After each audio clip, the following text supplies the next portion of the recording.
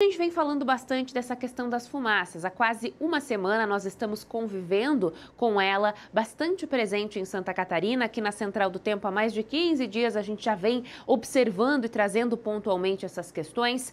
E a baixa umidade está comprometendo ainda mais a qualidade do nosso ar, junto com toda essa névoa associada à fumaça. E se você, como eu, é desse time que é, tem rinite, sinusite, sabe muito bem que as coisas estão especialmente difíceis. Garganta, dor dor de cabeça, nariz bastante trancado. É por isso que eu quero que você preste bastante atenção a partir de agora, porque o Paulo Miller foi atrás de descobrir para a gente como é que dá para ficar um pouquinho menos desconfortável nesses dias. Paulo, você também vem sentindo alguns sintomas? Eu, para mim, é o nariz bastante trancado e uma garganta seca. Bom dia.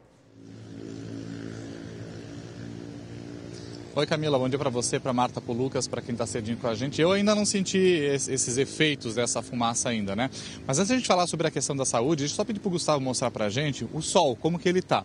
Geralmente a gente está encontrando né, o sol num, numa cor mais alaranjada todos os dias, né? E no entorno dele a gente percebe muito, é claro, é uma mistura de neblina com fumaça que acaba é, ocasionando essa cor laranja. Às vezes é, é, um cenário muito bonito, mas é aí que a gente tá, tem um, um indício, né? Os próprios meteorologistas falam muito disso, um indício da poluição que a gente tem por aqui. Inclusive, nós conversamos com um físico para entender melhor esse fenômeno dessas fumaças né, que estão causando esse bloqueio aqui no estado, bem como a Camila explicou é, anteriormente, a questão das chuvas, né, que acaba não conseguindo chegar essa frente fria para formar essa condição de chuva, para dissipar um pouquinho essas partículas, e aí a gente foi entender. O físico Marcelo Chapo, ele fala mais ou menos sobre um tal de índice de choque, que é o que acontece aí na atmosfera quando tem essa presença dessa fumaça. A gente vai entender na entrevista que a gente fez com ele. Vamos ouvir.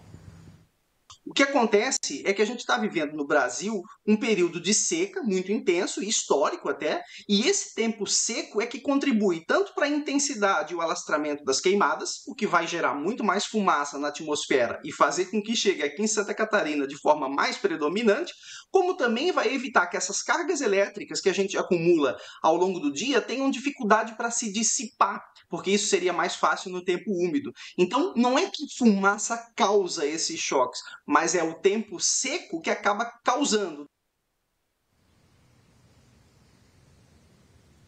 É, e aí a gente tem essa questão da qualidade do ar. Só a título de curiosidade, tem um índice é, mundial que faz essa medição por uma, é, por uma metodologia que desde 1976 é usada pelos Estados Unidos, no mundo inteiro, a título de comparação. E no ranking que saiu ontem, na última medição, Florianópolis aparece nesse ranking mundial como a cidade número é, 124 em pior qualidade do ar por conta de toda essa situação que a gente está vivendo. E aí, como que fica a saúde? Está tá, tá aqui comigo o Dr. Roger, pneumologista. A gente está num cenário, né, doutor, que as pessoas costumam muito fazer exercícios físicos ao ar livre e algumas pessoas acabam né, eh, já sentindo esses efeitos. Como que a gente dribla essa questão e como que a gente cuida da saúde nessa hora? Bom dia. Bom dia.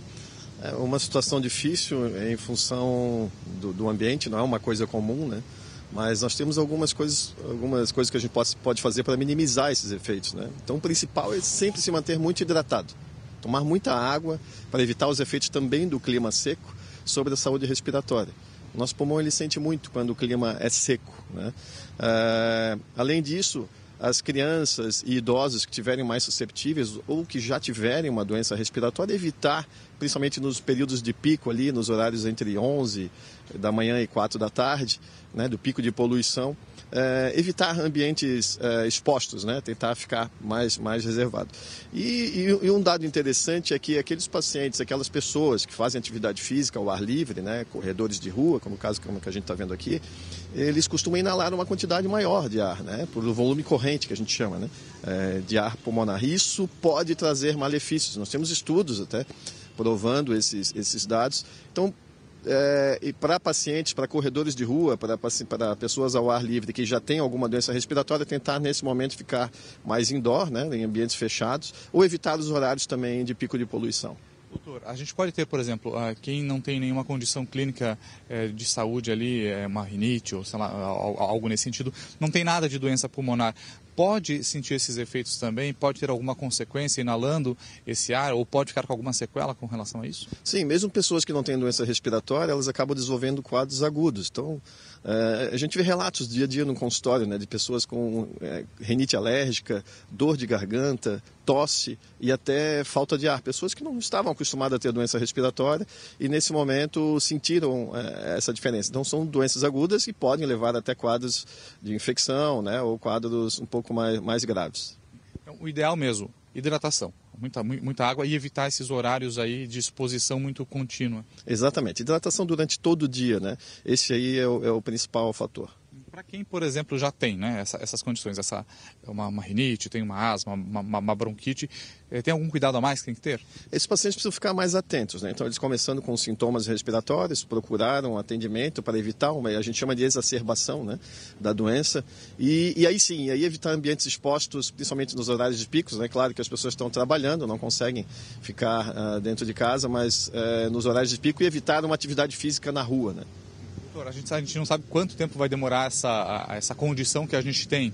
Né? Então, é, a, se a gente tiver uma condição muito mais demorada, muito mais prolongada, é, essa questão da saúde pode agravar?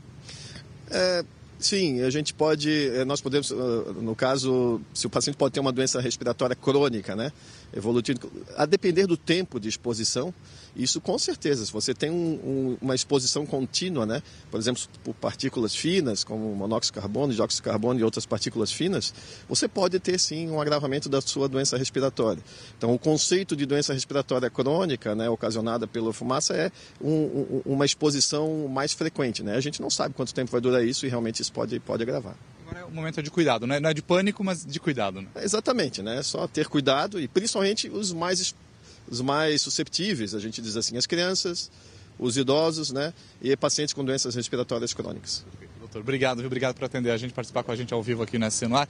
Então é isso, viu, gente? Muita água, muita hidratação, evitar os horários ali que o doutor falou, né? O horário tem essa exposição maior ali. E é o horário que a gente costuma já evitar sol, naquele horário das 11 às 4 horas da tarde, né? A gente, por conta das problemas de pele também, pulmão também exige bastante cuidados, Camila.